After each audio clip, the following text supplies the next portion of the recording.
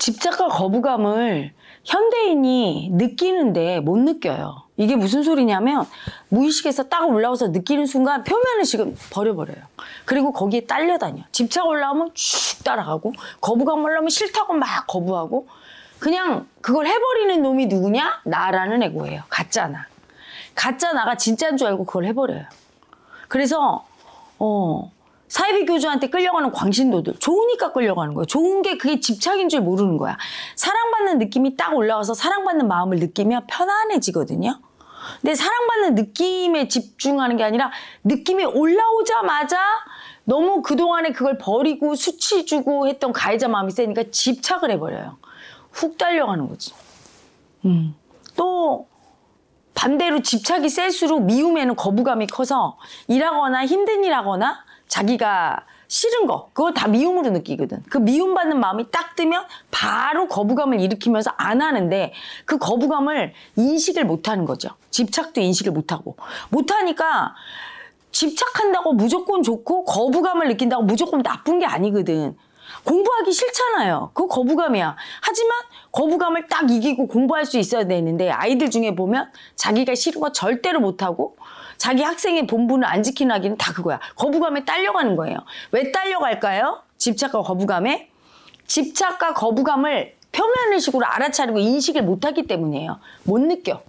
그냥 딸려다녀. 집착과 거부감에. 그러면서 호불호. 좋다, 싫다. 좋다는 집착, 싫다는 거부감. 음, 그거를 이렇게 느끼려고 하면 너무 괴로운 거예요. 안 느껴. 느끼려고 일부러 해봐도 괴로운데 안 느끼려고 하지 괴로운 건. 그래서 안 느껴요. 집착과 거부감. 그래서 딸려다니면서 어, 날마다 가짜 나, 내가 사는 삶에 함몰돼서 어리석게 살죠.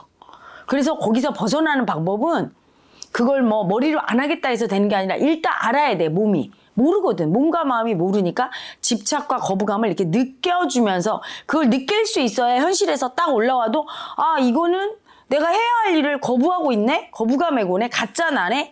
하고 분리가 될 수 있어요. 머리로 그렇게 생각 안 해도 저절로 우리 몸은 집착과 거부감을 느낄 수 있는 능력이 있는 만큼 그걸 느끼면 안 따라가게 돼 있어요.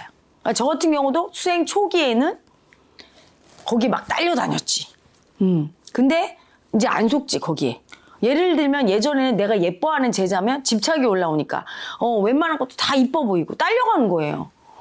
어 내가 거부하는 거부감이 느껴지는 제자는 거부감 느껴지니까 어 그 거부감으로 계속 밀어내고. 근데 거기 안 딸려가는 거야 이제는. 딱 내 마음이지 이건. 이게 정답이 아니야. 내가 거부감이 든다고 걔가 잘못된 것도 아니고 내가 집착이 든 올라온다고 걔가 좋은 애가 아니라 걔가 집착이 세네. 집착을 버리네. 거부감을 버린 애기 때문에 나한테 그걸 일으키는 걸 알아요. 이 집착과 거부감으로 상대를 평가를 안 한단 말이야. 근데 이거를 모르는 사람은 평가해버려. 나한테 집착을 올리고 좋은 느낌을 주면 저 사람은 좋은 사람이라고. 이 내 거부감을 모르고, 어, 집착을 모르고. 거부감이 올라오면 저 사람은 나쁜 사람이라고. 내 거부감인 걸 모르고. 자꾸 딸려가죠. 그래서 그 딸려가는 걸 없애고 내가 올바르게 판단하고 또한 마음 공부를 통해서 내가 거부감이 드는 사람한테도 사랑을 줘야 되겠다 이렇게 생각하면 사랑이 딱 올라와야 돼. 줄 수 있어야 돼.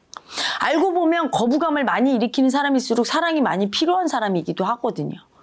그리고 현실에서 보면 내 상사가 싫어. 거부감이 올라와. 그렇다고 해서 이 거부감에 딸려가면서 계속 싫어하면 사회생활이 어떻게 돼요? 잘못되는 거죠. 상사의 문제가 아니라 내 문제라는 거를 알아야 되는데 다른 어떤 마음보다도 가장 내 문제라는 걸 알기 어렵고 너무 진짜 같아. 나라고 느껴지는 게 호불호, 집착과 거부감이에요. 그래서 그걸 반드시 느껴주고 표면의식화해야 돼.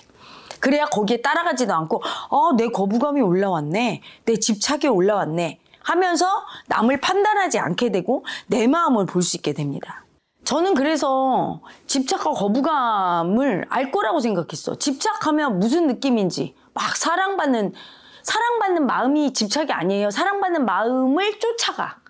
막 내 거야 뺏는 가해자죠. 우리 수행용으로 하면 거부감은 미워하는 마음이 아니에요. 싫어하고 미워하는 마음을 계속 싫다고 밀어내. 응. 혐오하고 싫어하고 이런 거부 반응 이걸 알 거라고 생각했는데 의외로 현대인이 그걸 몰라요. 모르니까 막 쫓아가죠. 그래서 현대인이 이걸 자각할수록 거기에서 자유로워지고 어, 그 에고가 죽어. 가짜 나가 죽어. 가짜 나가 클수록 내 인생은 엉망이 되거든. 아무리 공부 잘해도 소용없어요. 인생 그냥 폭망인 거야. 가짜 나가 진짜 저고 끌려다니다가.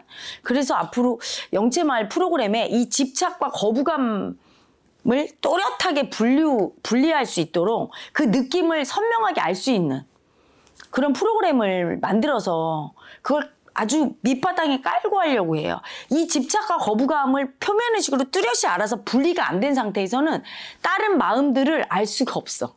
다른 마음들을 인정할 수가 없어요. 왜냐하면 마음이 딱 올라와. 사랑받고 싶은 마음, 뭐 미워하는 마음 딱 올라오면 벌써 집착과 거부감의 수치 에고가 딱 이렇게 잡아버리거든. 그래서 이걸 거부하거나 좋아하거나 이러고 있거든요. 근데 이 집착과 거부감도 모르는데 얘를 어떻게 분리하겠어? 마음이 분리가 안 되는 거예요. 아주 집으로 타지면 기본이야. 토대기 때문에 그걸 늘 모든 프로그램에 깔기도 하고 완전히 그걸 분리만 그것만 분리해도 마음은 저절로 분리될 수도 있거든. 음. 그래서 그 집착과 거부감을 많이 느끼게 하고 그, 그 거부감에서 집착에서 해방되고 진짜 편안함이 뭔지, 진짜 사랑이 뭔지, 그걸 알게 하는 프로그램을 기획하려고 예정입니다. 여러분, 10월 달에 지리산 영채마을 오픈하면 많이 많이 오셔서 그 집착과 거부감을 분리하는 그 프로그램, 어, 시간을 뭐 몇 박 며칠로 지금은 하고 있는데 그게 하나의 단품으로 프로그램으로 들어가면 되게 효과가 좋을 거예요. 많은 분들을 위해서 준비했습니다. 많이 많이 이용해 주시기 바랍니다.